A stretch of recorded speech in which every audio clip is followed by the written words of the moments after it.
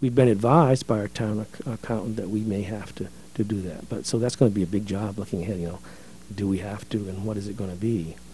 N- No one likes that idea, but we have to run it and we have to have the good water and how are we going to do that? Um, so we've got work cut out for us. It sure sounds like. Um, at this point, what does that uh, engineering report say, and how old is the report? Well, well, the report was when we uh, built the uh, uh, plant about 10 or 12 years ago, and they should be fairly current. And uh, uh, we need, this week we're going to study that, and I'm, I'm not sure just what it says and, and, and wh- whether some of it is still intact. I need to, to look into that. that was before they ran the line to the Potomac River, then, or No, that was done at the same time when they built, the, built the Okay. plant, when uh, Mayor Brawley was here, and, and also uh, Mayor Nash had a lot to do with the uh, with, with with that, and um, we had a person in the office that uh, overlooked that whole uh, construction. It was a pretty big engineering feat and construction feat.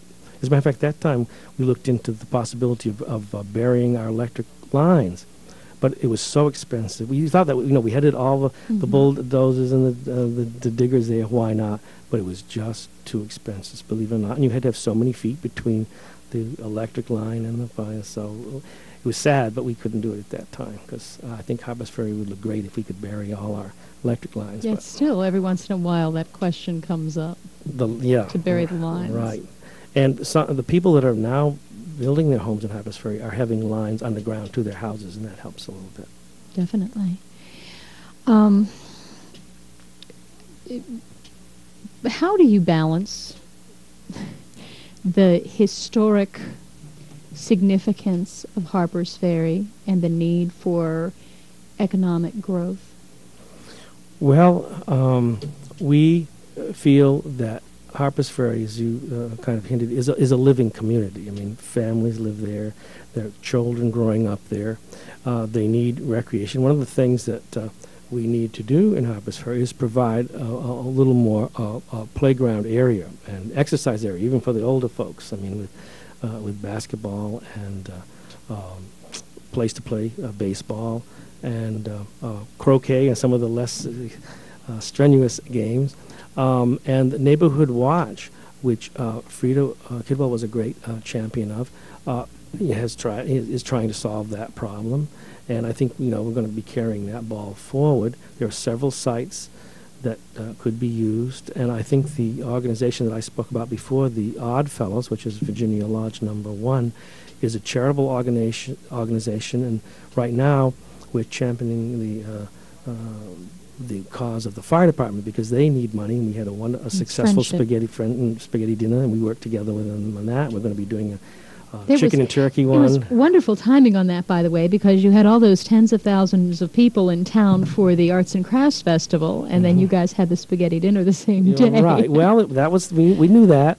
We have some good uh, planners uh, on the fire department that you could see ahead in that. We we, we worked on Wise that. But, but you see, organizations have to work together to, to help sell tickets and get the word around. And the uh, uh, Friendship Fire Company is a very professional group. They have a lot of training to do, and they have to run on the fires and the ambulance.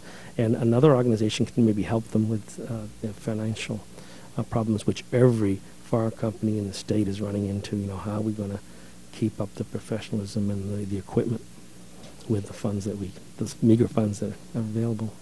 You have such a wide area to cover, Mhm. too. It's not just Mhm. the town of Harper's Ferry. Right. And your original question was how do we balance Yeah. um, th- that? Um, well, first, it's a living community. We do have to uh, uh, listen to the people who live there, what their needs are.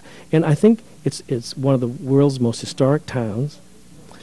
Um, but I think that uh, uh, uh, we, and the visitor that comes there is delighted to find that this is still a living town. It's not like Williamsburg where they everything's closed at five o'clock and it's, it's, it's just ghostly.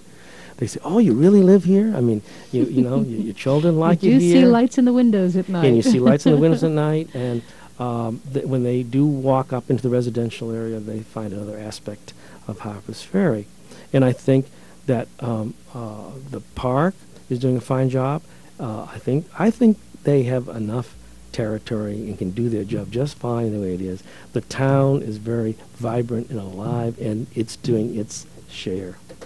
And the two together make uh, a really dynamic community and Village. And I think the balance has, has been met but needs to be worked on.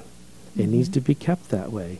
Um, a lot of um, uh, national parks are kind of closed at five o'clock, and kind of you know the the, the OK Corral idea. You know everybody's gone. it's just the street there, but it's delightful to walk down in Harper's Ferry in the evening, and uh, we're concerned about uh, the lighting situation again. Being able to see stars in the sky and not be a like the um, average uh, shopping mall where you can't see the sky and everything's kind of blotted out by the bright light. We need to have lighting that's both safe and um, Unobtrusive. unobtrusive, and that's hard to build. But that again has to be uh, coordinated between the town, the owner.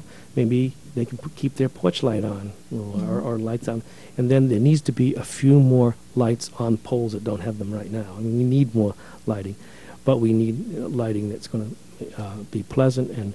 Uh, people, when they visit Harper's Ferry, they'll notice the difference, and, and I don't think we thought about lighting before.